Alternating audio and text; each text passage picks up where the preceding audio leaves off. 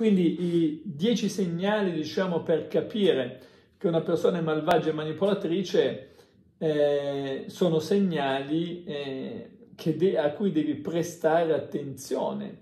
E il primo segnale, appunto, eh, tra questi dieci è proprio quello della disomogeneità di comportamenti. Quindi tu devi osservare un po' nel tempo la persona, perché le persone manipolatrici sono camaleontiche, quindi eh, cambiano, non hanno, diciamo, e sono anche malvagie. Non è detto che uno non deve mai cambiare idea, non deve mai cambiare atteggiamento, modo di fare, però le persone che adattano il loro atteggiamento alla situazione per portarti dove vogliono loro fondamentalmente. Quindi eh, nel tempo noterai che eh, ci sono dei grossi cambiamenti, soprattutto eh, cambiamenti di atteggiamento nei tuoi confronti.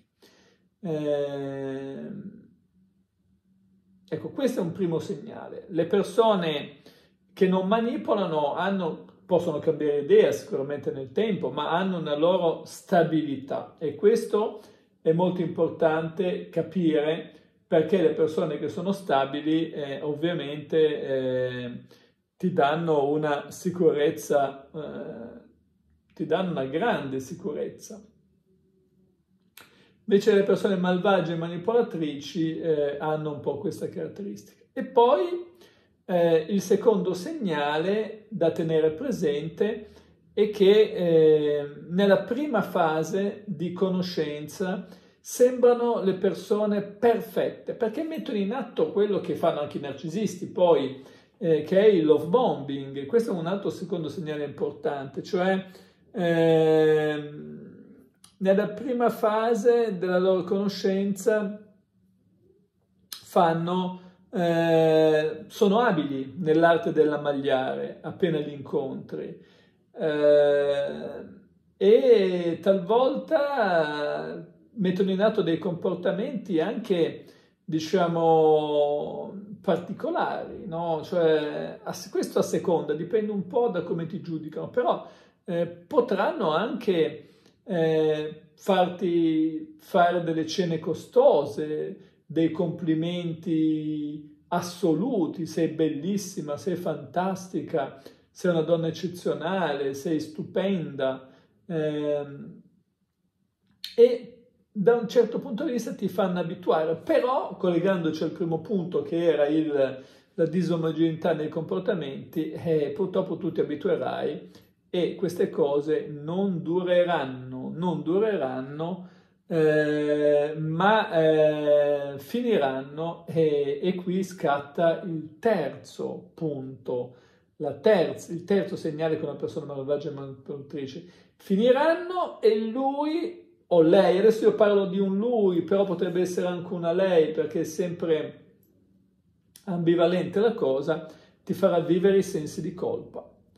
E ti farà vivere sensi di colpa eh, nel senso di eh, ho, ho adeguato, ho cambiato il comportamento perché tu hai fatto qualcosa che non avresti dovuto fare e quindi il senso di colpa è proprio un'altra caratteristica basic, diciamo, delle persone che possiamo definire malvagie e manipolatrici.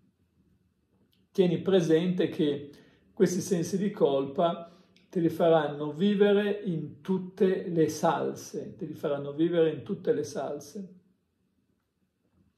E questo è un terzo segnale molto importante. Un quarto segnale che devi tenere presente è la drammatizzazione, cioè eh, le persone manipolatrici e quindi anche malvagie eh, sono anche eh, talvolta degli attori, delle attrici nate. Eh, Gasman drammatizzano la cosa, magari eh, evidenziano una piccola cosa che secondo loro tu hai fatto che non avresti dovuto fare e la esaltano, la fanno diventare chissà come se fosse qualcosa di eh, assolutamente sbagliato. E hanno proprio questa caratteristica di drammatizzare, di sceneggiare. Ecco, questo è un altro un quarto punto che dovresti tenere in considerazione perché è indicativo, insomma, delle persone comunque manipolatrici. E un quinto punto è che non sanno ammettere di aver sbagliato.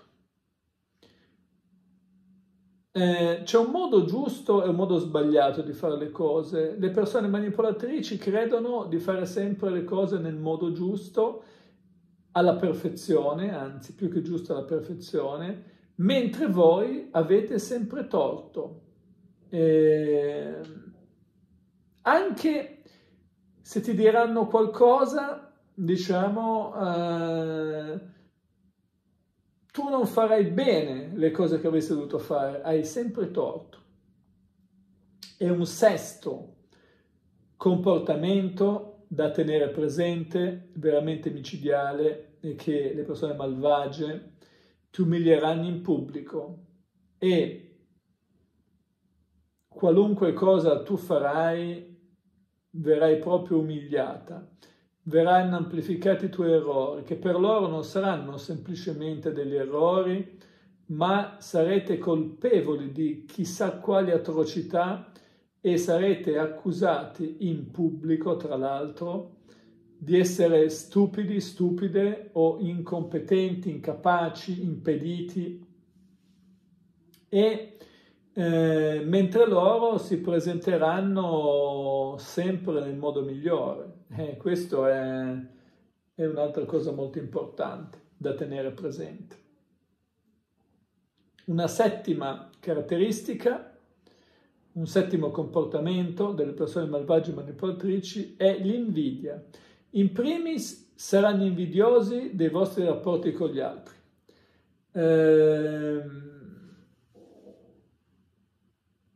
anche dei vostri rapporti con i vostri familiari, con i vostri genitori, con i figli, se avete figli, insomma, dei vostri rapporti con gli altri. È una questione di controllo perché eh, il fatto che voi abbiate buoni rapporti con altre persone, secondo loro ovviamente, eh, è sottrarre attenzione a loro stessi.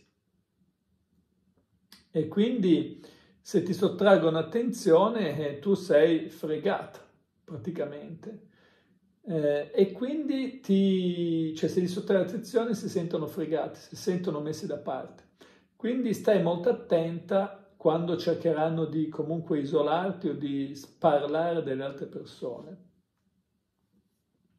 Poi un'altra caratteristica eh, delle persone malvagie è che la loro empatia è molto limitata, possono avere un'empatia cognitiva, cioè pro- se vedono che tu soffri non provano empatia per te, anzi cercano di sfruttare la tua sofferenza per ottenere loro dei risultati, per portare a casa dei risultati per controllarti. Quindi questa è un qualcosa di molto importante. Ehm, un nono, una nona eh, caratteristica è che i vostri bisogni, i tuoi bisogni, le tue richieste non contano. Saranno sempre in secondo piano. Eh, loro, le persone malvagie, eh, anzi cercano di danneggiarti cercano di distruggerti, non ti sponsorizzano, cercano di metterti i bastoni tra le ruote, cercano di rovinarti la vita e quindi i tuoi bisogni se ne fregano, le tue esigenze se ne fregano. Il loro potere glielo dai tu comunque, eh, non è che se lo vanno a cercarlo da qualche parte, il potere, la cosa peggiore è che glielo dai tu. Perché, eh, diciamo, eh, il tuo coinvolgimento, quello che ti frega. E un altro punto fondamentale per riconoscere le persone malvagie è che eh, danno dei segnali di gradimento emotivo quando qualcuno soffre, quando qualcuno sta male. Cioè, gli dice, ah, tizio è, che ne so, ha avuto un grave incidente. Allora, ah sì, mm, mi spiace molto che abbia avuto un grave incidente, cioè danno dei segnali anche su terze persone, quindi hanno un sadismo, se vogliamo così definirlo, eh, dentro. Ora, non è che devi vedere tutti questi segnali, però questi segnali ti indicano veramente che hai a che fare con una persona malvagia, con una persona manipolatrice. Per questo video è tutto, seguimi su Instagram, Massimo Tramasco Ufficiale, su TikTok e ti ricordo di eh, iscriverti a